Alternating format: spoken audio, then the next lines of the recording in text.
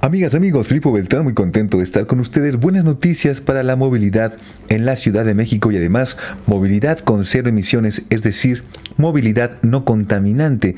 El día de hoy se presentó este nuevo trolebús. No es un prototipo, es el número uno en esta nueva adquisición de 63 trolebuses en total. Se espera que para finales del sexenio haya 500 unidades de trolebús en toda la Ciudad de México. Hacía más de 22 años que no se estrenaba un trolebús y esta es una estrategia de movilidad y estrategia de cero emisiones. ¿Quieres saber de qué se trata? Quédate aquí porque esto es México Informa y comenzamos. Esto es México Informa. Y es que el trolebús, pues como sabemos, es parte importante del transporte en México.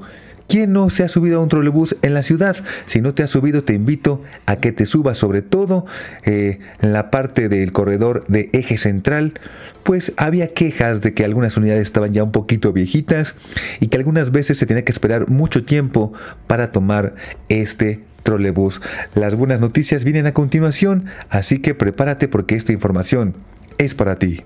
La jefa de gobierno Claudia Sheinbaum presentó el nuevo trolebús de la Ciudad de México. En total, se espera que para fines de este año haya 63 trolebuses circulando en el corredor de eje central y posteriormente se espera adquirir nuevos trolebuses para que circulen en los demás ejes importantes de la Ciudad de México, ya que se cuenta con la instalación de energía eléctrica, pero lo que hacía falta eran nuevas unidades.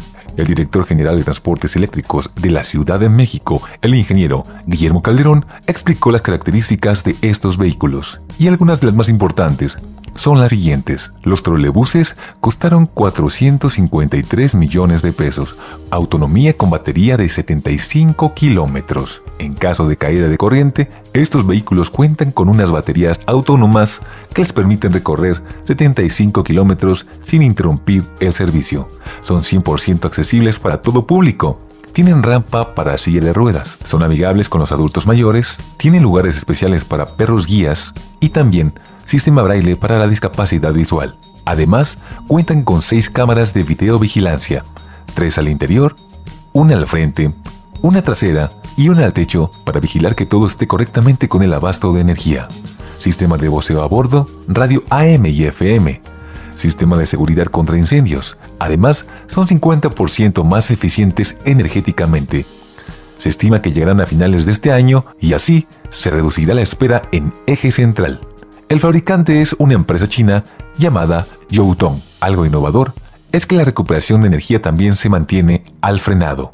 Tiene botón para silla de ruedas, frenos ABS y cuatro baterías que como mencionamos anteriormente se cargan con las catenarias o un cargador independiente.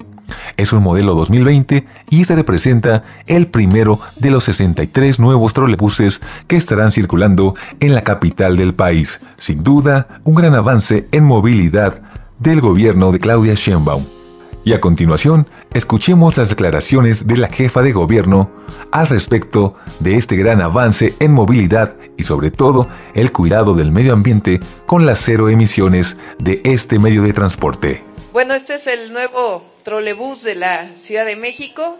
Es un transporte mucho más seguro, accesible y es la electromovilidad de la Ciudad de México. Todas las ciudades del mundo prácticamente están yendo hacia el transporte eléctrico y aquí tomamos la decisión de que la electromovilidad, uno de sus ejes centrales, sean los trolebuses.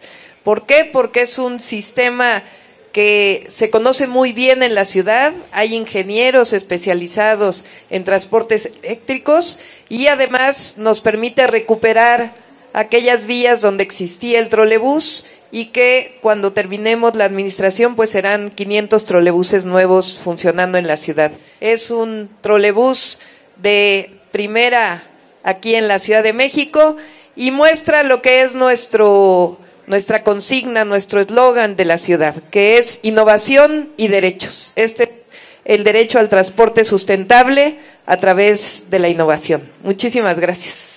Pues ahí con imágenes del gobierno de la Ciudad de México, con imágenes de nuestras amigas de los canales Cultura 4T y Cacagoto 77. Gracias por este gran material. Muy buenas noticias para todos los que viven o los que vivimos en la Ciudad de México. Recordemos que el sistema de transporte colectivo Metro es uno de los más importantes, pero ahora con la ayuda del trolebús, pues las cero emisiones y la contaminación se verán reducidas con estas medidas. Mi nombre es Filipo Beltrán, si te gustó el video, considera suscribirte. Recuerda que el México Informado siempre es un México mejor. Es muy importante conocer tu opinión, así que hazla saber en la parte de comentarios. Nosotros nos vemos en el próximo video.